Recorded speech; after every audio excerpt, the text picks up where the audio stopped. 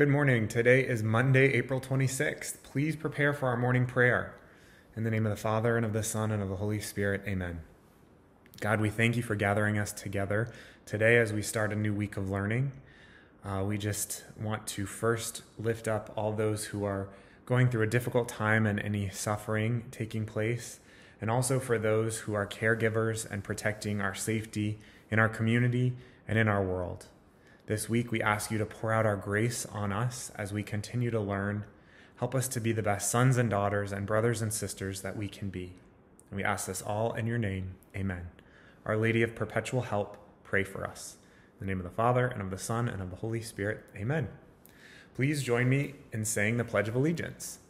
I pledge allegiance to the flag of the United States of America and to the republic for which it stands, one nation, under God, indivisible with liberty and justice for all.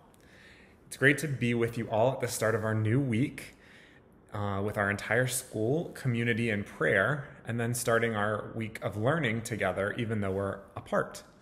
Our school is just not the same without you, and I know I speak for all of our staff when I say we miss seeing you in person, but we are so incredibly grateful to have our Zooms and our Google Meets, not only to continue learning, but to have that time to gather and share with each other.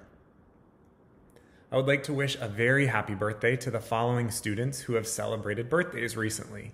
Happy birthday to Vinny in fourth grade, Ambrose in kindergarten, Jude in fifth grade, Vaughn in first grade, Mrs. Kearns, Blaine in second grade, Lily in kindergarten, Mrs. Gregorini, Tony in eighth grade, Elisa in sixth grade, Vivian in fourth grade, Griffin in first grade, Mackenzie in eighth grade, Simon in second grade, and Lena in fourth grade. I hope you guys are celebrating big with your families. I have really loved seeing all the many creative and awesome things you guys have been up to. From creating inventions to making bread, going on virtual field trips, taking parts in plays you're reading on Google Meets. There's been math everywhere I look. And how fun was that middle school dance party on Friday night? I want to thank you for your continued hard work and that of your parents and your teachers who are doing an amazing job to make sure that we are always learning.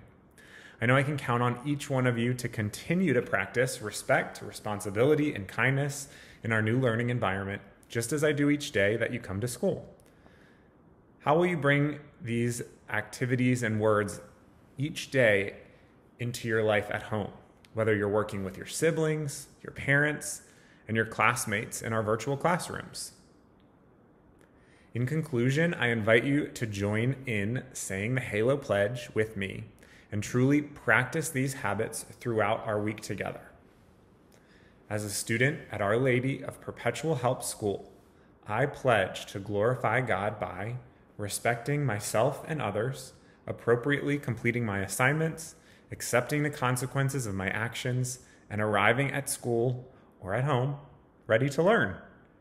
I look forward to catching up with many of you this week and seeing you in some of our online classrooms. Work hard and count on my prayers for you and your family each and every day.